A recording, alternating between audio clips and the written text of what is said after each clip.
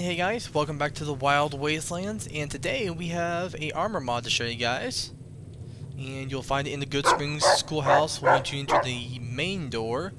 You'll find it to your left, right here in the box, the Black Mamba box, and you'll open it up.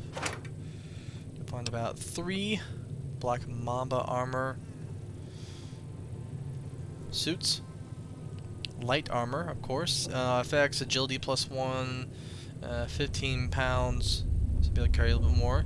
Guns plus 10, sneak plus 10. So I'm already wearing one, and I'll show you guys. Let's get back outside to the light, of course. And this mod was created by C. Naude, aka Man of War, or Man of War 101. So, special thanks to him for creating this mod.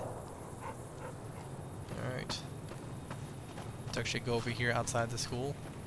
As you can see, this is for like a type 6 uh, body type.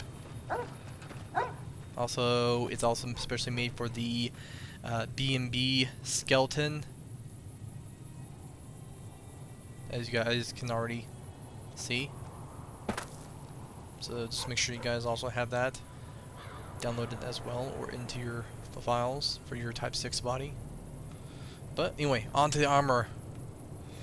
Let's see here. The armor does have a nice little black mamba patch right here, and same thing on this side, and a nice little pouches for your ammo, Stimpaks, etc., etc. Some small stuff in there. But overall, very nicely made armor. As you can see here, very nice boots.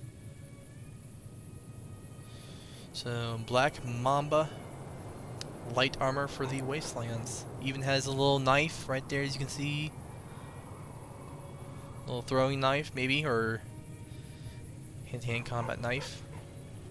That'd be nice if they made like a small bowie knife for that pouch. But there we go.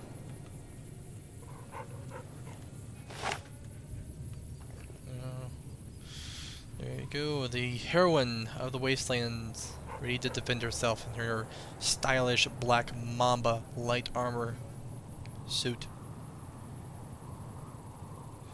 Well, hope you guys enjoy. You guys be able to check out this awesome light armor black mamba and um, have fun, guys.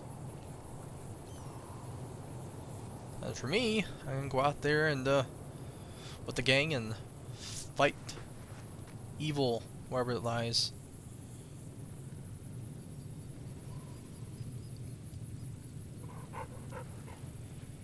I'll see you next time.